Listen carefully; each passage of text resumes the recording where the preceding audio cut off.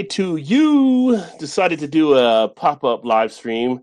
Decided to make a little bit of a beer run earlier and pick up some different things that i thought i would share here on a stream. And hopefully you guys are having a good saturday afternoon. Wanted to get out before we started getting some of the rain that we are expecting. But i'm going to go ahead and share some of the things that i actually picked up.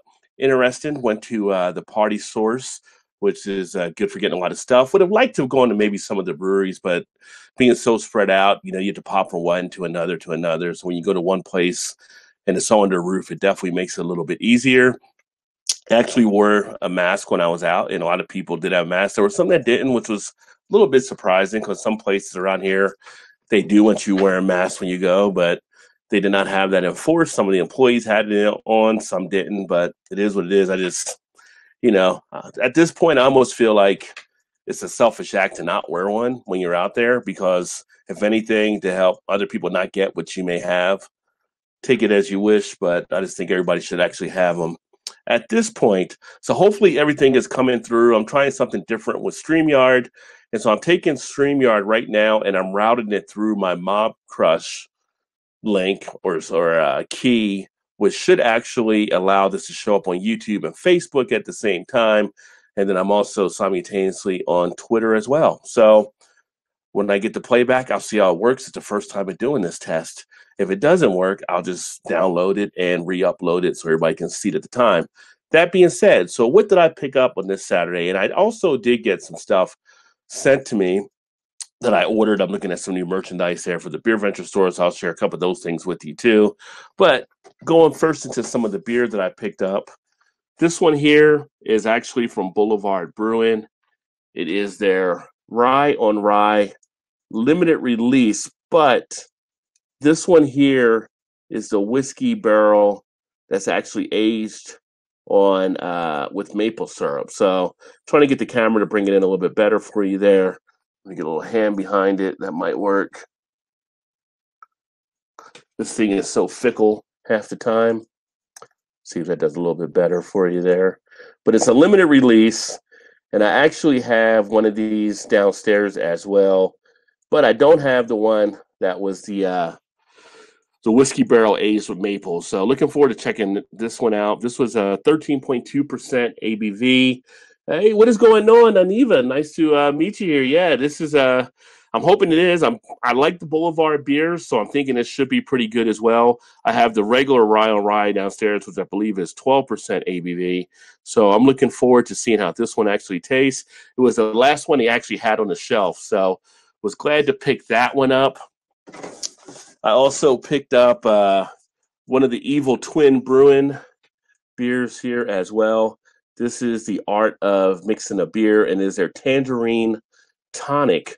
So many of you have seen the other ones I've done, the mojito and one of their other ones, and this will be the third one in that series, double India Pale Ale with natural flavors. So looking forward to seeing how this one actually tastes. ABV on here, uh, eight uh, percent. So nice one there. Kind of puts you in that imperial stage. Also, I picked up this one here, and this is uh, Brouwer's Rosette. It is their old brewing that they actually had. I just saw it on there. It was the edition of 2014, which I didn't realize at the time, but the Flemish Red Brown Ale. They just had it out there, so I figured why not go ahead and pick it up. I think it was like two ninety nine or something, or dollar ninety nine. But um, supposedly it's still supposed to be in decent shape, so we'll see there. But I grabbed that just because it was uh one of the deals they had going on. I'm looking on here to see if they have any the date marked off. I don't see it on here. Um, but you know, it is what it is. If uh, those ones can last actually a while, so if it isn't great, then that's fine too. I mean, it only cost me a couple bucks or so. Uh, this one is also Evil Twin. This is the Island of Bliss. So I picked this one up as well and this would be a nice one too. This one is malt beverage with natural flavors, what gives you on the can. And ABV on this 5.8%. Not really giving you the style, so that would be kind of a little bit of a surprise. But you real you feel like it's going to be that tropical feel by the label that's actually shown on the beer there. So looking forward to seeing how that one tastes. And then I also decided to pick up a glass because I, I do have a big glass collection, and they had these there on sale.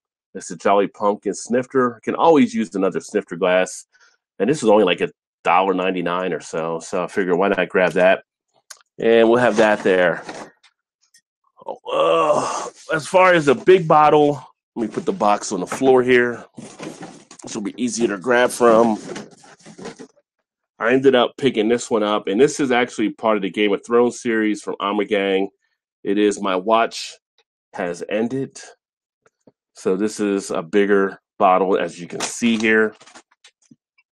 Uh, one pint, 9.4 ounces. This is 8% ABV Imperial Brown Ale brewed with maple syrup and fenugreek. And I always like to try to find a good brown ale and an imperials they're tough to find. So i'm looking forward to seeing how this tastes. I've got other Ommegang down there as part of the game of thrones series which i've never seen the show. I've never watched game of thrones so may need to check that out at some point. I know it's all done on the series. My wife enjoyed it but uh, never got around to watching it. Another one from evil twin brewing is the sour sunsaft that i also picked up and this one is imperial india pale ale Oh, just India Pale, not Imperial. Well, actually, it's at 8% ABV, so that would make it Imperial uh, with black currant and mint added. So this should be a nice one to also uh, taste into. And then I also saw this one. It really caught my eye, and I haven't had anything from a while from them. And I do like uh, DeClaw Brewing out of company. It is their oat shake that I decided to grab. Hazy double IPA brewed with oat milk. Kind of sounded interesting to me. So uh, Nanvia says no sours. ah, it's this, you know, it's an acquired taste that points for people, but uh, you know, I, I like sours. I like them here and there. I can pretty much drink a lot of different beers with no problem, except for I'm not a huge uh, shandy type person, but uh, sours are something I definitely do enjoy. But this uh, hazy double IPA, like I said, brewed with oat milk, and this one comes in at. Let's see if I see this one here. I know they put oh, 8.5%. So right there in the label, and I was actually missing that. So DeClaw Brewing always does some pretty decent beers. So looking forward to that. Then I also picked up another one from Boulevard that I tried to find before but was unable to get because they were out of it, and that is the Brandyland. So I'm definitely looking forward to enjoying that one as well. Boulevard out of Missouri. This is a spiced imperial stout aged in apple brandy barrels. So this one should also be pretty solid. 12.4% ABV says enjoyed by November 11th, 2020. You could probably go past that time, but you know, when they put a date on there, you try to definitely adhere to that because that's what the brewers intended, right? For you to drink it by that point. And then I happen to see this one here, which just caught my eye. Um, it was another one they were actually uh, doing something on, as you can see there, kind of the pie slice and it's actually Omnipollo and their Lustro, which I do like Omnipolo, Omnipollo and the beers they do. This one, 8% ABV, Imperial India Pale Ale. So looking forward to seeing how this one actually tastes. Um, I always worry about getting Omnipollo just because we don't always get them at the freshest state. They don't put a date on it, but it was on sale. I think it was like a dollar ninety nine or something as they were trying to get some of the stuff off the uh, stock there. I haven't had that one, but Smokestack series from Boulevard's quality. I agree. Yes. That's why I like to try to get the Boulevard beers as I can get them. We get more distribution from them now. Um, so I'm definitely uh, looking forward to trying that. And then this one was another Evil Twin Brewing, and it's actually a collaboration with Westbrook with uh, OFYMD. And this one is uh, Imperial Stout with pineapple and coconut, 12.8% ABV. So this one should be a tasty brew to enjoy as well. And this one, um, looking forward to seeing what this one actually has to uh, to offer. Have not really gotten Westbrook directly. They've always been party collabs for me. So looking to see how that one turns out. Then I also picked up one more because it was an evil twin kind of day. This is the Kiwi Coconut Fizz.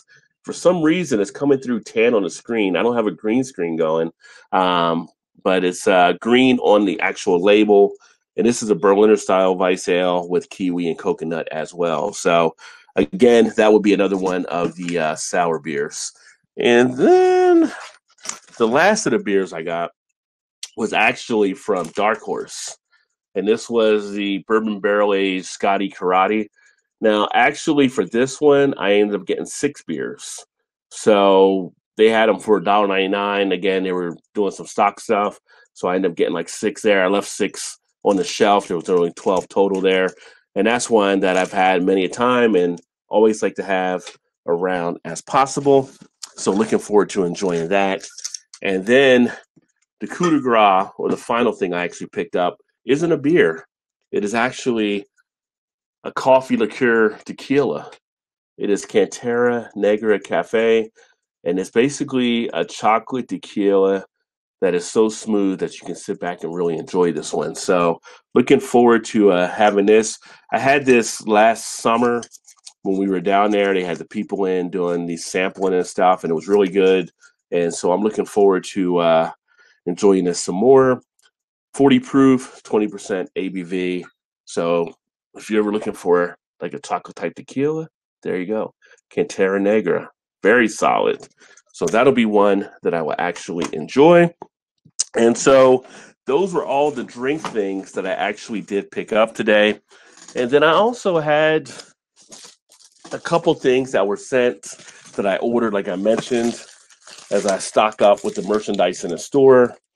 And this one here, when I ended up picking up,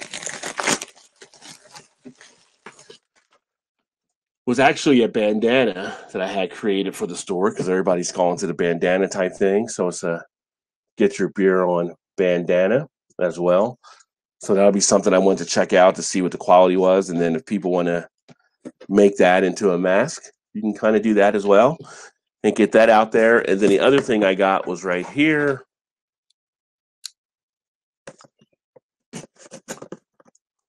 So I cut the box open and not cut myself. Remember, always cut away.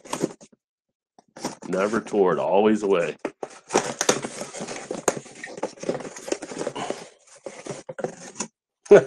box into another box like a Russian doll set here.